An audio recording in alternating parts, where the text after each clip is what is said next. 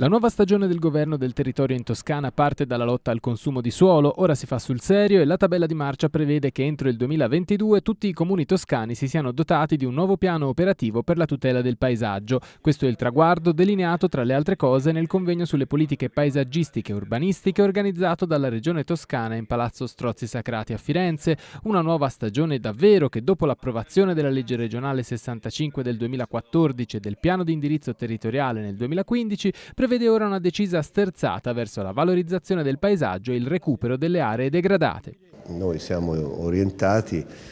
in direzione della ristrutturazione e della rigenerazione urbana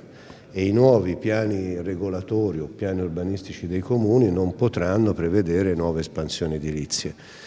E questo è un cambiamento importantissimo, siamo l'unica regione che ha fatto un cambiamento così importante. Due sessioni di interventi e tavole rotonde per affrontare anche la questione del delicato equilibrio tra territorio urbano e rurale che caratterizza la Toscana. La novità in vista, sostituire l'adozione delle varianti ai vecchi strumenti urbanistici con l'adozione da parte dei comuni dei nuovi piani strutturali e operativi. Tra le novità più significative, la nascita dei piani strutturali intercomunali vale a dire gruppi di comuni che si mettono insieme in aree omogenee per eh, poter fare il piano strutturale assieme, quindi definire assieme quelle che sono le strategie di sviluppo che riguardano le infrastrutture, che riguardano i servizi, che riguardano le scelte peculiari di un, eh, di un territorio. Ora l'obiettivo della Toscana è instaurare un dialogo permanente con il governo per pianificare lo sviluppo del territorio, perché gestire il paesaggio significa guardare in prospettiva alla vita delle sue comunità.